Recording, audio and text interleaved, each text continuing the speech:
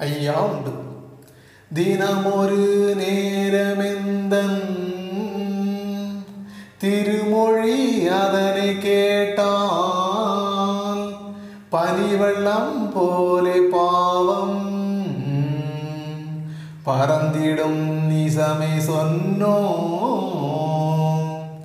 நமது ஐயா மனிதன் கலியுகத்தில் எவ்வாறு வாழ வேண்டும் என்றும் அந்த வாழ்வின் தத்துவங்களையும் ஐயாவின் அவதார நோக்கங்கள். அதன் மகிமைகளையும் உலகம் பிறந்த வரலாறு மற்றும் சான்றோர்கள் பிறந்த வரலாற்றையும் ஆகியவற்றை அடக்கிய பொக்கிசங்களான அகிலத்திரட்டு மற்றும் அறநூலை தந்திருக்கிறார். மேலும் தினமொரு நேரம் எந்த திருமொழி அதனை கேட்டால் பனிவெள்ளம் போலே பாவம் பறந்திடும் திசமே சொன்னோம். நாம் கலியுகத்தில் வாழ்ந்து கொண்டிருக்கிறோம். கரித்தன்மையால் அறியாமல் செய்த பாவங்களை நம்மை படைத்த இறைவனே போக்கி விடுவார். ஆனால் தினமும் நாம் ஐலத்திரட்டு அம்மானையை படிக்க வேண்டும். படித்து அதன் பொருளை உணர்ந்து கொள்ள வேண்டும். அதில் சூட்சமும் என்று அவர் அறி தெரிவித்திருக்கிறார். தினமும் அகிலத்திரட்டு அம்மானே மற்ற அறநூலை படிப்பதால் நமது மனதை பக்குவப்படுத்தி பாவங்கள் செய்யாமலும் தவறுகள் செய்யும் முன் அதை உணர்த்தி விடுகிறார் நமது ஏக பரம்பொருள் ஐயா. இறைவன் காப்பு பகுதியில் மிகவும் அருமையான வாசகத்தை தந்திருக்கிறார்.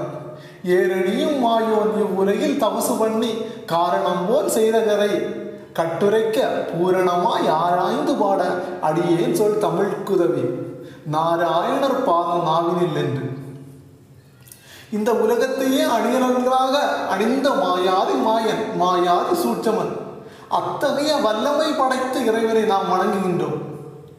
மேலும் அகிலத்திரட்டில் வரும் அவதார நோக்கங்களும் கருத்துகளும் ஒவ்வொரு காரணகாரியத்திற்காக படைக்கப்பட்டவை. பின்பு எழுதுவதற்கு உதவி புரிந்த அந்த தமிழ் மொழியை எவ்வாறு உயர்வாக மிகைப்படுத்தி கூறியுள்ளார் நமது ஐயா. இதிலிருந்து தமிழ் மொழியின் மகத்துவத்தை உலகறிய செய்திருக்கிறார்.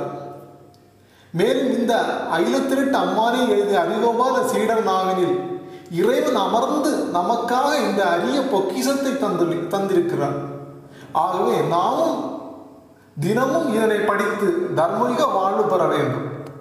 ஐயா உண்டு